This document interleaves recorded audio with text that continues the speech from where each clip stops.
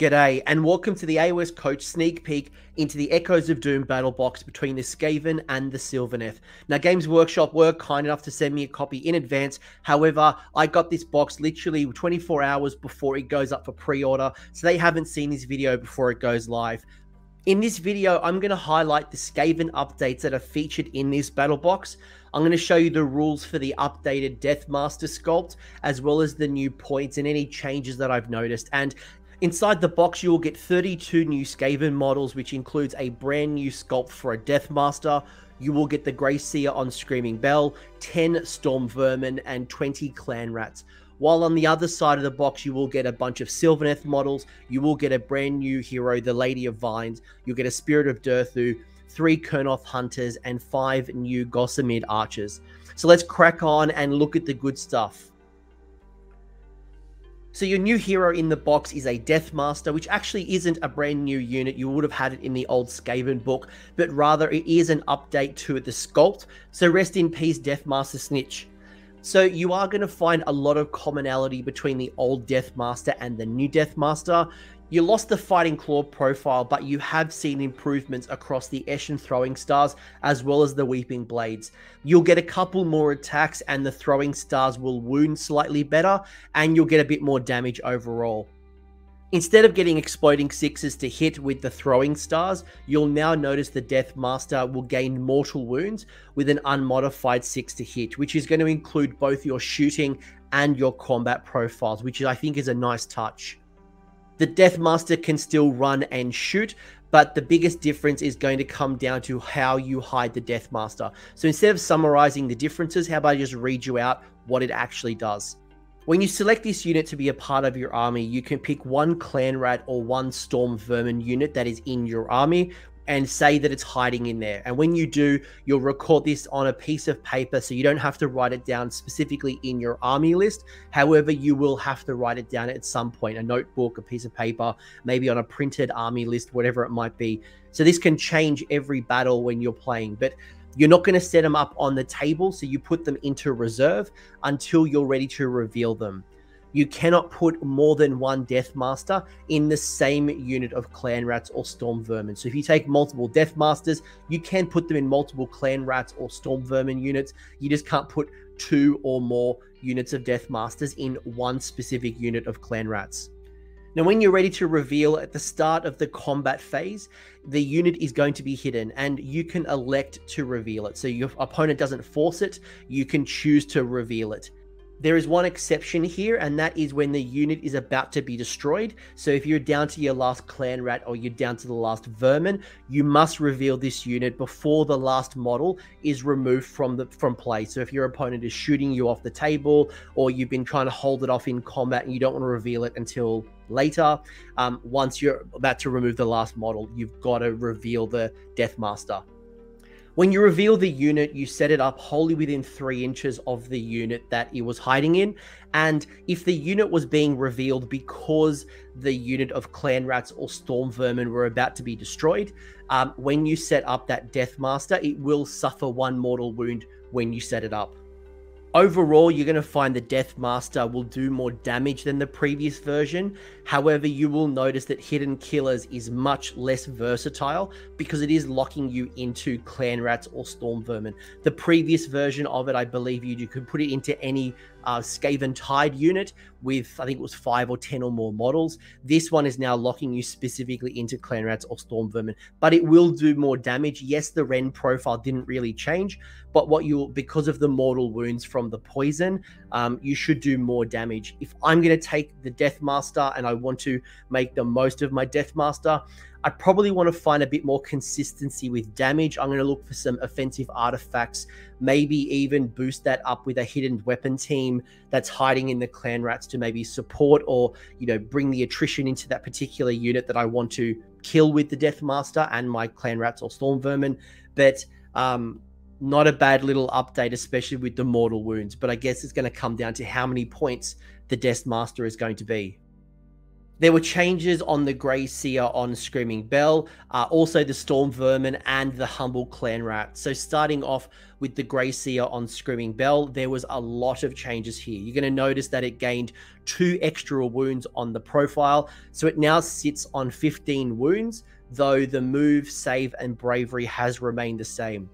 The Warpstone staff has now changed to deal D3 damage. In the past, it only did 1 damage, while the rest of that melee profile is the same. The Rusty Spike now does 6 flat attacks, but it will degrade over time because it is tied to your damage table. Uh, it will now hit on 3s, but everything else will stay the same with the Rusty Spike. One of the biggest reductions that I noticed is it now can only cast one spell and unbind one spell. It used to be able to do two. So unfortunately, it's lost a little bit of its magic power. The biggest change to the Screaming Bell would be the modification of the Altar of the Horned Rat, and that used to provide you Battle Shock immunity while you were within 13 inches of the Screaming Bell. So this is going to hurt you, especially for those who are building around large units of Clan Rats, because you'd be able to get that obviously Battle Shock immunity, have more than one version of that. You'd have Inspiring Presence somewhere and a Battle Shock immunity through your bell. Instead, it gained a 5 up ward, which is going to be helpful throughout the game but it also gained a very interesting rules interaction that uh, at the start of your hero phase, you can switch from either being a wizard or to be a priest. So I'm sure that is going to make a lot more sense with the new battle tome. But essentially, each hero phase of yours, you can either make the Screaming Bell a priest rather than being a wizard. The spell, the Cracks Call, has changed. It's now a 13 inch range. It used to be 18 inches, although the rule still is the same where you roll 2d6, you compare it to as it the movement characteristic, and it deals a bunch of mortal wounds depending on the dice roll versus the movement. The other big change comes down to the Pearl of Doom, and you used to roll 2d6, you now only roll 1d6. There's a lot more consistency when you look at the table, it still has a, a, way to deal damage. So if you roll a one, it's going to hurt yourself D3 mortal wounds and it can't be negated. So that five up ward is not going to play into effect here. If you roll a two, you're going to add six inches to the unit's movement characteristic until your next hero phase. If you roll the three until your next hero phase, subtract one from the hit rolls for attacks made by enemy units that are within 13 inches of any friendly screaming bells uh, for which you rolled the result. So if you have multiple screaming bells, it's only obviously the bell that rolled the three. On a roll of a four, until your next hero phase, you get to roll a dice each time an enemy model is picked to issue a command while it's within 13 inches of that screaming bell. And on a five up, that command will not be issued. So it's a great way to counter a whole bunch of, I don't know, inspiring presence, all out attacks, or, you know, faction specific commands on a five up. If you roll a five on your Screaming Bell until your next hero phase, after this Screaming Bell makes a charge move, you get to pick one enemy unit within one inch of it and roll a dice. On a two plus, it's going to suffer d6 mortal wounds. And then finally, if you roll a six, at the end of your hero phase, you get to roll a dice for each enemy unit that's within 13 inches of that friendly Screaming Bell on a 4 plus, it's going to suffer D3 mortal wounds. So you will notice that it has changed a little bit. Everybody loved trying to summon a Vermin Lord under the old Screaming Bell, and you still can do it. In fact, it's probably gotten a whole lot easier through the ability A Stirring Beyond the Veil. Once per battle at the start of your hero phase, if seven or more wounds are allocated to this unit, you can say that the Grey Seer is going to shatter the Screaming Bell. If you do so, you get to roll a dice. On a roll of a 1, the screaming bell is destroyed and you remove it from play. On any other roll, you get to add the number of wounds allocated to the unit to the dice roll. And if the modified roll is 12 or less, so the dice roll plus the wounds allocated, so we're looking for 12 or less, the screaming bell is destroyed. So it means that you're not going to be able to use the Pearl of Doom. It means you're not going to be able to cast uh, Cracks Call. On a 13 or more, the bell is still shattered, but you are able to summon a Vermin Lord within 13 inches of the bell and 9 inches away from the enemy. Now, if the bell was within 3 inches of an enemy unit, the Vermin Lord can be set up within 3 inches, so it can be set up within combat. There's obviously a lot going on here and a lot of changes and how that might impact your particular playstyle. But for me, the biggest impact is going to be the loss of Battleshock immunity through the altar of the Horned Rat. You will get a better chance of summoning that free Vermin Lord, which is going to be awesome, but you've only got one shot at it. Where previously you could keep ringing that bell hoping for boxcars, now you've only got one chance. You're going to want to use it and make it count. Losing a spell cast is going to suck, but I am curious to see how this switching between wizard keyword and priest keyword is going to play out and what extra abilities are in the battle tome. It doesn't actually start with the priest keyword. So when you look at the war scroll, it actually doesn't have it at all. It just gains it through an ability. So it's not like when you're selecting your army list, you can allocate curse or some other type of universal prayer to the Seer but it does actually gain the totem keyword. I don't think it had the totem keyword in the past, which is going to be great for allocating your command points at a much further distance, especially if the Grey Seer is not going to be your general.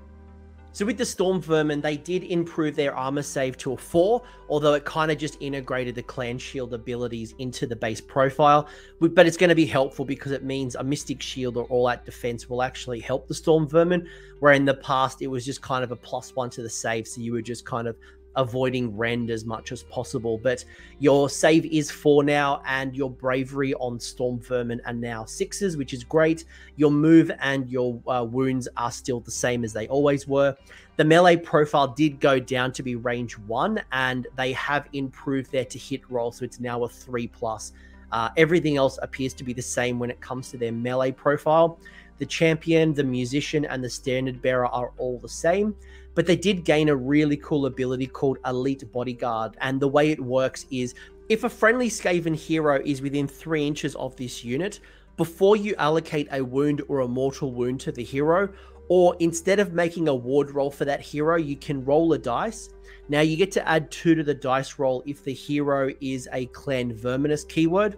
And on a four up, the wound is allocated to the unit rather than the hero, but it can't be negated. So it's much like the Stormcast Praetors, if you're familiar with that war scroll, but basically these are elite bodyguards and they will take damage on behalf of that Skaven hero, especially if you're Clan Verminous.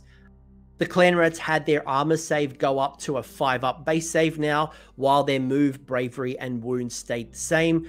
Uh, they too lost their clan shields, but really it was just integrated into the base save profile. So instead of it being a plus one to your armor save if you have the clan shield with blah, blah, blah, it's now just a flat five up. Again, you can benefit from ways to improve the armor save, cover, mystic shield, etc. Now, the musician and standard bearer are still the same, although what has slightly changed here is that it used to be one in every 20 could be a musician and a standard bearer. It's now one in every 10. So you have to have multiple versions of the musician and standard bearer. Although the abilities have stayed the same, the melee profile stayed the same. So did the uh, champion rule stayed the same. But they did gain a really cool rule, which is called Seething Swarm. And at the end of the Battle Shock phase, you can return D3 slain models to this unit. So this ever never-ending horde of uh, of clan rats is going to keep coming back at the end of the battle shock phase, not your battle shock phase. At the back of the Echoes of Doom booklet, there is a set of pitch battle profiles. They're going to let you use the new scrolls in uh, the current game. However, if you are going to go to a tournament, you may want to speak to see how they rule the uh, the new Skaven rules. But basically, when you look at what's changed, the Death Master has gone up from I believe it was 100 points last time. It's now gone up to 170 points, so almost doubled. Your Seer on Screaming Bell didn't change at all, and it remains at 265 points. It's still a leader and it's still a behemoth. The Clan Rats also stayed the same. They're 130 points for 20 models. And your Vermin Lord slightly went up. They were originally 110 points. They're now 135 points, and they are battle line. So you've incorporated the, the elite bodyguard rule a little bit into those points. So, what do I think of this box for a Skaven player? Well, first off, if you are an existing Skaven player, there's a very good chance that you already own these units in your collection.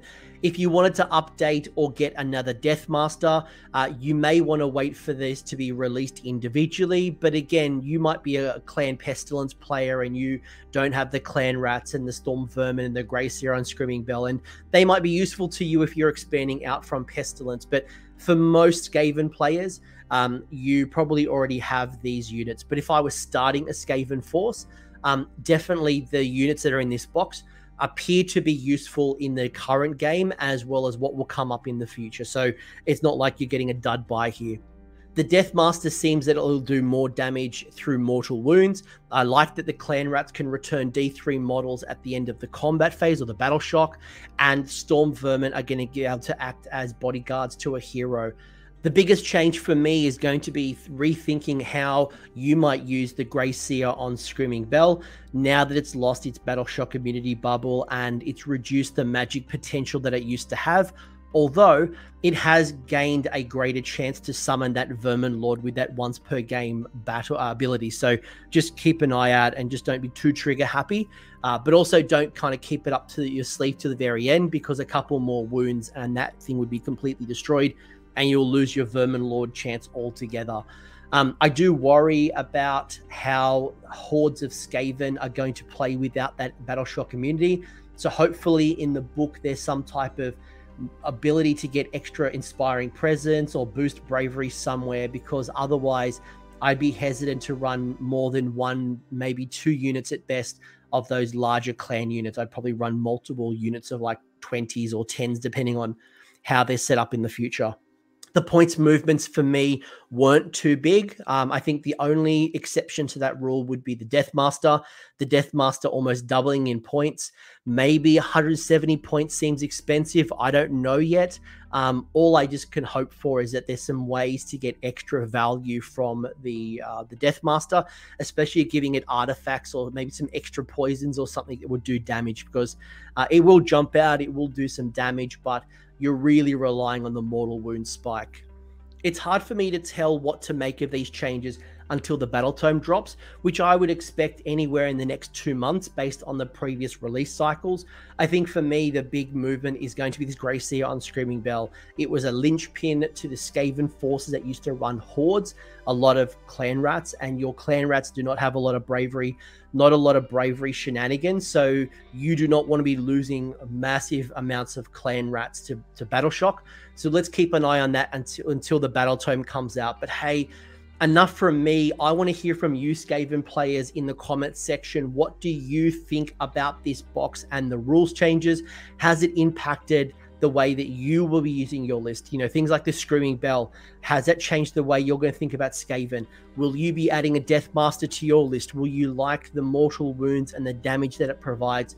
Or did the points increase be too high for you to that will keep it kind of on the shelf or maybe on your painting rack let me know in the comment section what you're thinking skaven folk Thanks for sticking around until the end. I hope you found that video interesting and you walked away with a few new ideas. If you did, I would appreciate it if you hit like on the video as well as left me a comment. Let me know what your thoughts are in the comment section below. The conversation will continue over on Discord, so links down below in the episode description if you want to join the Discord and continue the Age of Sigmar conversation. I want to give a massive shout out as well to these absolute bloody legends, these champions who have continued to support me through Patreon or YouTube members. That is going directly into supporting the maintenance and the growth of this channel. So thank you very much, guys. Much appreciated. And until next time, roll more sixes.